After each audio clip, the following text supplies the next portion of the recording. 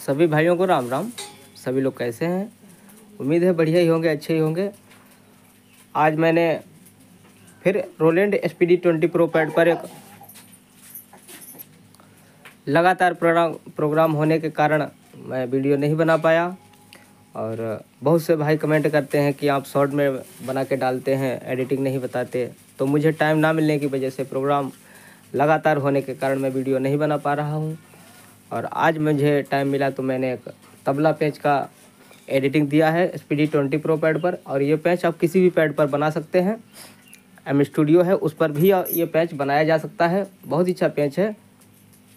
और जिस किसी भी भाई को कोई भी जानकारी या कुछ भी पूछना है तो आप कमेंट में जाकर या फ़ोन करके हमसे पूछ सकते हैं। मैं आपको बताने की कोशिश करूँगा। और जिस भाई को किसी को किसी भी पैड का बैकअप चाहिए रोलेंड रोलेंड का जो भी पैड है, या M S P twenty pro है, उसका मैं आपको डाटा तो नहीं भेज सकता, लेकिन उसको बता सकता हूँ लिख कर बता सकता हूँ। आइए चलते हैं पैड की और आपको पहले बजा के दिखा देता हूँ, और बजाने का तरीका भी आपको बता दूँगा।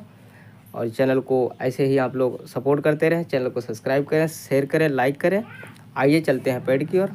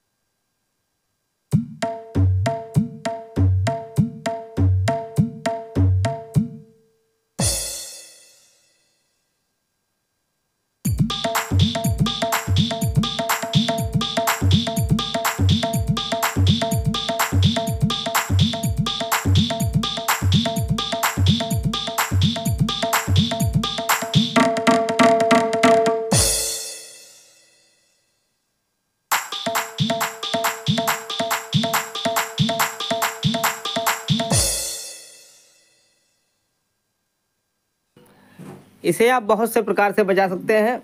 जैसे कि आपने देखा, आइए आपको एडिटिंग बता देता हूँ और यहाँ से इसको बजा सकते हैं। इसको यहाँ से मैंने बताया, यहाँ से ये हमारा जो, ये वाला हाथ रहेगा, ये इस प्रकार चलेगा और ये वाला हमारा हाथ इस प्रकार चलेगा। इसको ऐसे भी बजा सकते हैं। बहुत से प्रकार हैं, आप तो बजा ही सकते हैं।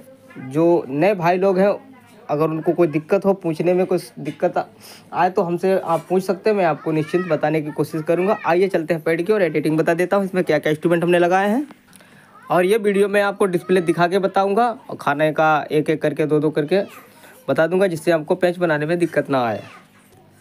आइए चलते हैं डिस्प्ले देख लेते हैं डिस्प्ले देख के, और मैं खाने का जो बताऊँगा, एक, दो, तीन करके आपको बताता जाऊँगा। चलते हैं सबसे पहले इंस्ट्रूमेंट देखते हैं क्या क्या है। पहले खाने में छोटी आई बीस का साउंड है, छोटी आई बीस का।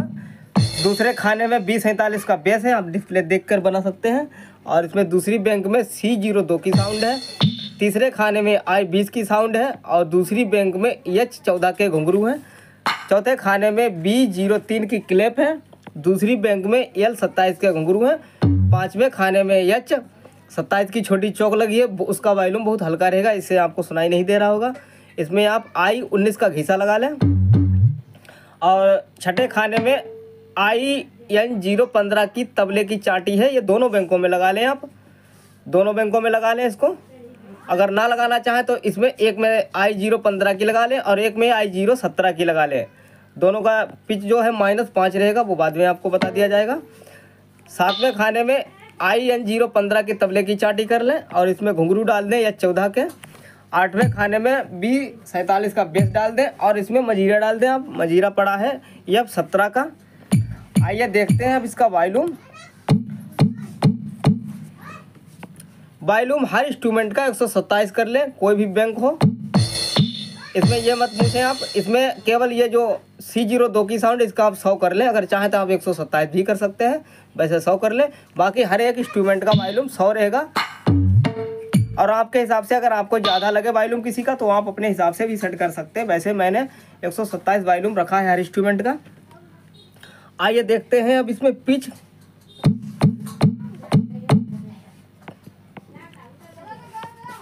इसमें जो पहले खाने का जो पिच रहेगा, उसका रहेगा प्लस तीन है। इसमें प्लस दो कर लिया।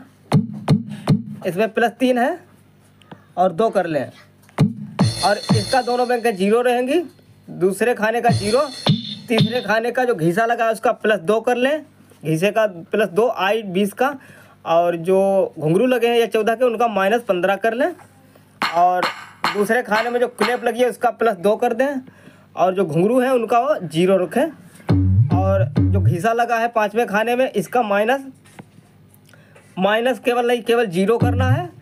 और इसमें तबले की चाटी जो लगी है, इसका माइनस पाँच दोनों का करना है। आई सत्रह का भी और आई पंद्रह का भी दोनों का माइनस पाँच करना है पिच और सातवें खाने का जो घुंघरू लगे, उनका माइनस पंद्रह करना है और जो तबले की चाटी लगी, उसका प्लस पाँच कर देना। तबले की चाटी का प्लस पाँच रहेगा पिच और आठवें का ज़ीरो रहेगा, दोनों बैंक का दोनों बैंक के ज़ीरो रहेंगी। आइए देखते हैं, अब डी के थोड़ा देख लेते हैं। पहले का पचास कर देना है, दूसरे का जो सी ज़ीरो दो की साउंड है, उसका पचास करना है। बेस का जो लगा है बेस का आपको करना है अस्सी।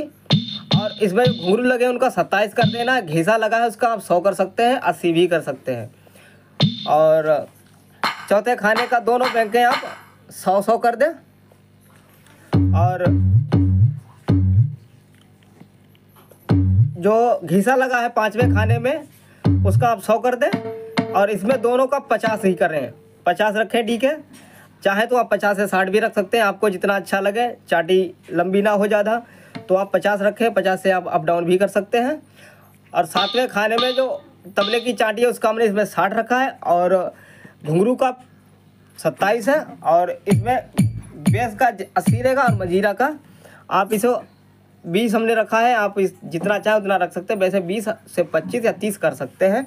बाकी इसमें डिले ले लगा नहीं। आप अगर इसमें हमारे बताने के अनुसार अगर कुछ समझ में ना आए तो आप हमसे कमेंट में जा बॉक्स में जाकर या फ़ोन करके पूछ सकते मैं आपको बताने की ज़रूर कोशिश करूँगा और आप लोग ऐसे ही चैनल से जुड़े रहें।